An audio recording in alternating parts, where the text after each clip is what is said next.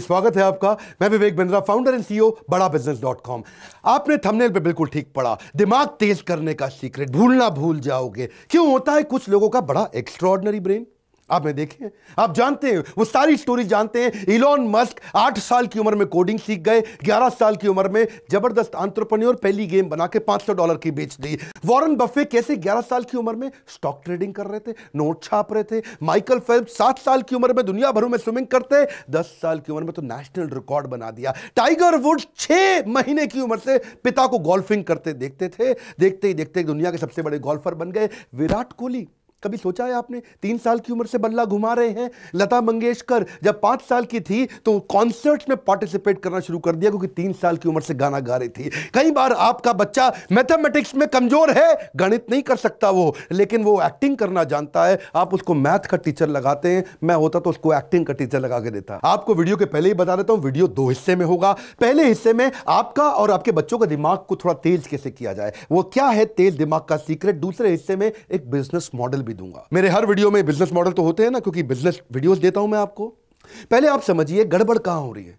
गड़बड़ यह है कि बच्चों के साथ में वो ऑल्टरनेट टैलेंट्स नहीं बिल्ड किए जा रहे हैं। नॉन अकेडमिक ऑल्टरनेट टैलेंट और उनकी कॉम्पिटेंसी नर्चरिंग इसमें तीन बातें पहला है नॉन अकेडमिक दूसरा है ऑल्टरनेट टैलेंट और तीसरा है कॉम्पिटेंसी नर्चरिंग क्या सारी समस्या क्या है जो हमारे यहाँ स्पेसिफिक कॉम्पिटेंसीज होती हैं बच्चों की? उनको बिल्ड नहीं किया जाता, उनके नॉन अकेडमिक यानी कि Hindi English math science SST को छोड़ के और कौन से स्पेसिफिक टैलेंट्स हैं?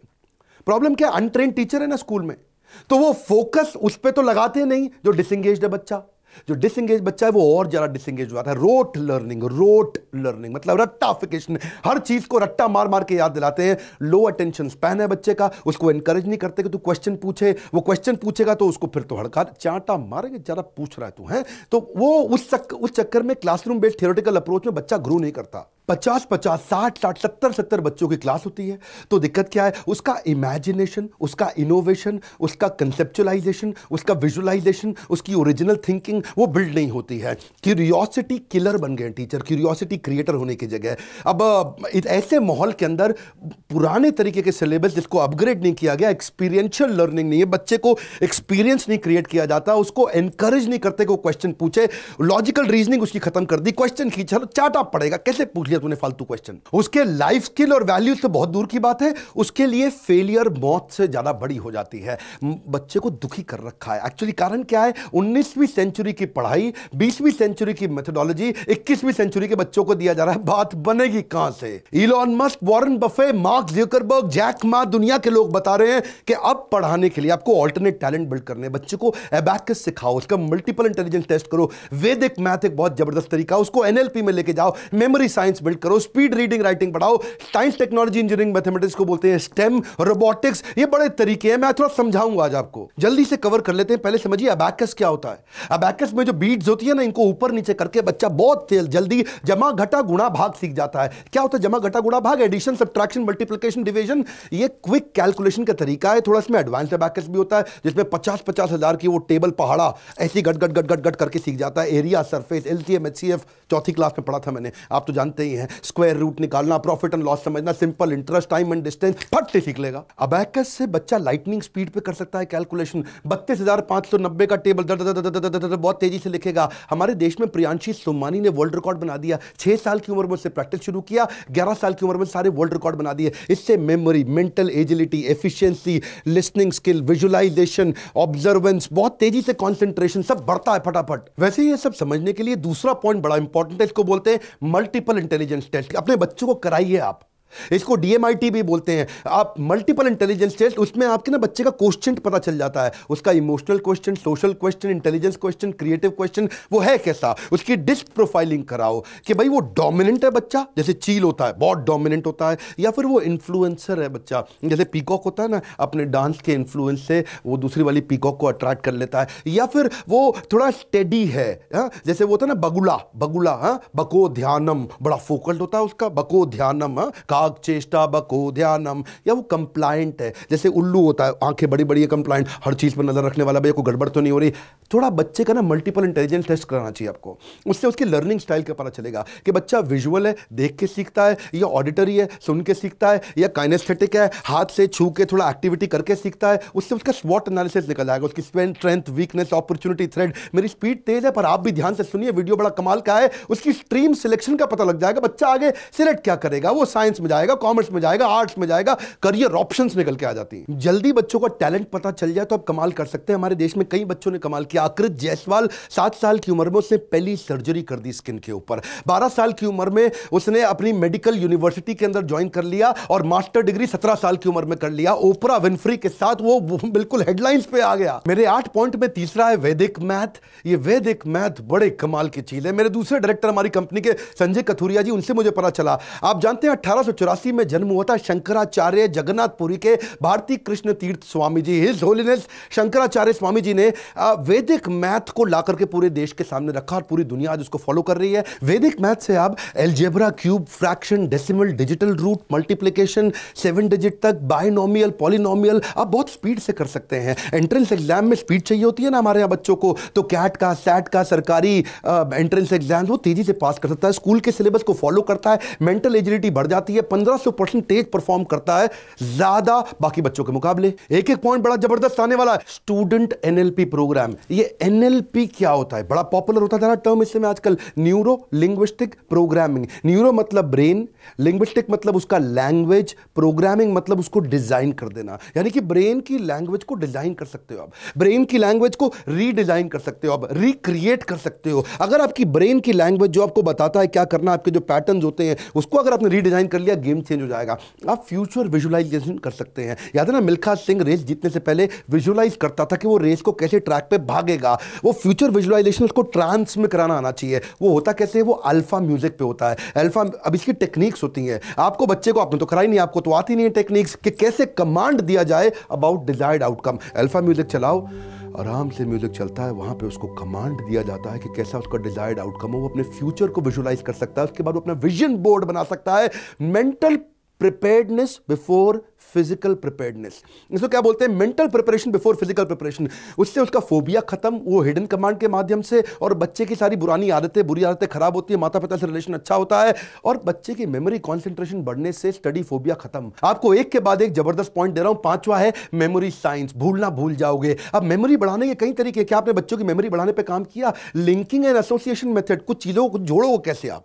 बातों को जोड़ के याद करो। अब टेलीफोन का आविष्कार किसने किया? आपको याद नहीं होगा। हो सकता है आपको याद हो, पर आसान तरीका क्या है? टेलीफोन का आविष्कार, टेलीफोन टेलीफोन, थोड़ा लिंक करके स्टोरी बनाओ। बेल बज रही है, बेल बज रही है, टेलीफोन की बेल बज रही है, बेल बज बज के बज बज के फ़ोन गर्म हो गया। गर्म बेल, फ़ोन गर्म हो गया। ग्राहम बेल, गरम bell, Graham Bell. Oh, Graham Bell ने किया था? अरे, याद हो गया। आप जानते हैं आपको रेडियो का आविष्कार किसने किया? रेडियो बज ही नहीं रहा है जी रेडियो को हिला, बज नहीं रहा है। हिला, अरे थोड़ा ज़ोर से हिला। मार्कोनी उसको ज़ोर से रेडियो बज जाएगा। मार्कोनी?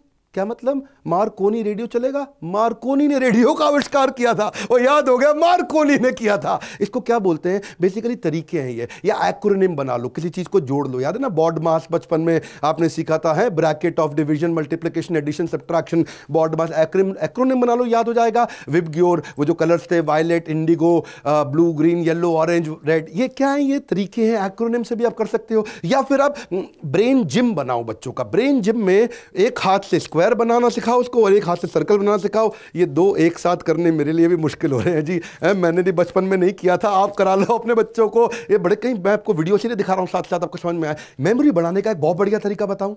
मैं आपको अपना बोर्ड लाइन नंबर नहीं बताता लेकिन एक स्टोरी के माध्यम से एक मेमोरी बिल्ड करने का एक ज़बरदस्त तरीका बताऊँगा आपको। देखिए पहले एक छोटी सी स्टोरी सुनते हैं। मैं एक रेस्टोरेंट में गया। खाना खाने के लिए गया। वेजिटेरियन हूँ लेकिन उसने नॉनवेज खाना खिला दिया। मुर्गी सर्व कर दी मेरे को। मेरे को थोड़ा गुस्सा आया। मैंने वो नाइफ और फोक साइड में रखा। मैंने बोला शेफ को बुलाओ मैनेजर को बुलाओ।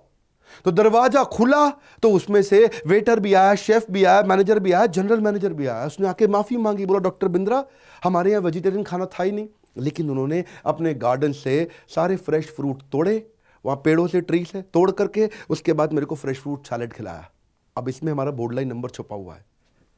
आप कहेंगे बोर्ड लाइन नंबर कैसे छुपा हुआ है? मैं आपको बताता हूँ। मैं इसका ट्रिक सिखाऊं आपको? ट्रिक क्या है इसके पीछे? नाइन, मैंने हर एक नंबर को एक इमेज दे दिया। नाइन को इमेज दिया डाइन, एट को इमेज दिया प्लेट, टेन को इमेज दिया हैन फाइव को इमेज दिया नाइफ फोर को इमेज दिया door four four four four, यानी कि door door door door door से खुल के कोई आ रहा है वहाँ से, और थ्री को इमेज दिया ट्री अब आप समझ सकते हैं जी नाइन मतलब मैं डाइन करने गया और एट का मतलब मैंने प्लेट में बैठा और टेन में मतलब मेरे को हैन से सर्व कर दिया फाइव का मतलब मैंने नाइफ उठा के साइड में रखी फोर का मतलब चारों उतर के खोल के door door four four four four आ गए और थ्री का मतलब भाई मैंने उसने बोला कि मैं ट्री से आपको फ्रेश फ्रूट ला खिला देता हूँ। तो मैंने एक स्टोरी बनाई। उस स्टोरी के साथ मैंने हर नंबर को एक इमेज दिया तो माइंड में स्टोरी याद रह जाती है और स्टोरी से लिंक करके मैंने नंबर याद कर लिया। मैं इसको थोड़ा समराइज कर दूँ।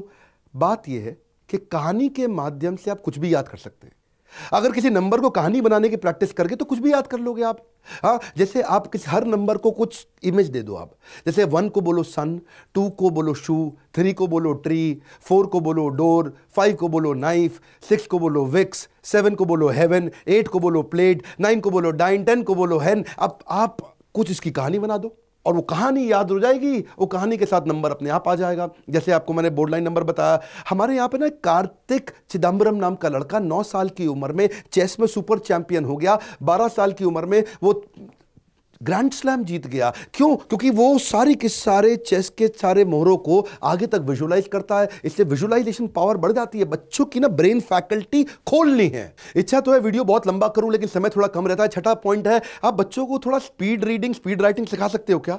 हाँ इसकी बड़ी टेक्निक्स आ गई आजकल। मुश्किल नहीं है अब तो ये। अगर टेक्निक सिखा दो तो बच्चा तेज, दोनों हाथों से बच्चा एक साथ लिख सकता है। इधर सेवन का टेबल लिख रहा है, उधर ट्वेंटी नाइन का टेबल लिख रहा है और दोनों सेम स्पीड पर लिख रहा है। उसका लेफ़्ट ब्रेन राइट ब्रेन दोनों काम कर सकता है। उसको आप कैलीग्राफी सिखा सकते हो, उसको स्पीड राइटिंग सिखा सकते हो, उसको कर्सिव राइटिंग सिखा सकते हो। सातवां तरीका है स्टेम स्टेम का मतलब क्या है? ये तो भैया फ़ेमस कर दिया है हमारे माइक्रोसॉफ्ट के चेयरमैन ने। उसके जो फाउंडर हैं, वो क्या बोलते हैं बिल गेट्स कि साइंस टेक्नोलॉजी इंजीनियरिंग मैथमेटिक्स पूरी दुनिया को सिखा दो, दुनिया बदल जाएगी। बच्चों को ना थोड़े प्रोजेक्ट्स दो। अब पवन चक्की विंड मिल हमने तो अपनी किताबों में आज तक देखा था। लेकिन अगर बच्चों को प्रोजेक्ट दे दो विंड मिल कैसे घूमती है, उससे कैसे बिजली बनती है, उससे कैसे बल्ब जल जाता है, या फिर उसको वाटर फ़िल्टर किट खाली इमेज में मत दिखाओ, उसको प्रोजेक्ट कराओ टेलीस्कोप उसको यूज़ करना सिखाओ। मैग्नेट का भी सी सॉ बन जाता है। बड़े तरह के प्रोजेक्ट आते हैं, बड़े अमेजिंग प्रोजेक्ट होते हैं।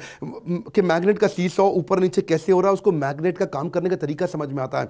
इससे क्या होगा? उसकी क्रिएटिविटी बढ़ती है, उसकी इमेजिनेशन बढ़ती है, उसका एप्लीकेशन समझ में आता है साइंस का। आपको पता है, हमारे देश में एक लड़की, आयशा हाँ सोलह साल की उम्र में, उसको पहली मतलब छोटी उम्र में पायलट का लाइसेंस मिल गया। क्यों? साइंस टेक्नोलॉजी में उसका इंटरेस्ट था। बीस साल की उम्र में she was India youngest space pilot और जब वो बारहवीं क्लास में थी तो स्पेस ट्रेनिंग प्रोग्राम में नासा ने उसको सिलेक्ट किया। और मेरा आठवां पॉइंट है, बच्चों को थोड़ा रोबोटिक्स और कोडिंग सिखाओ। रोबोटिक्स और कोडिंग आपको पता नहीं है, बच्चे जो है ना, उनकी सीखने की क्षमता बहुत तेज होती है। हमारे देश में सारंग सोमेश, जानते हो, उसने पाँच साल की उम्र में रोबोट बना दिया। वो दुनिया का यंगेस्ट टेडेक स्पीकर बना क्योंकि उसके माँ बाप ने चार साल की उम्र में उसको रोबोट मेकिंग किट ला करके दी थी। जिसके चक्कर में सारा वो उसको बड़ा इंटरेस्ट आने लगा। वो उसकी डिज़ाइनिंग चालू कर दिया। मम्मी के साथ लग जाता था और उसने रोबोटिक ट्राईसाइकिल बना दी।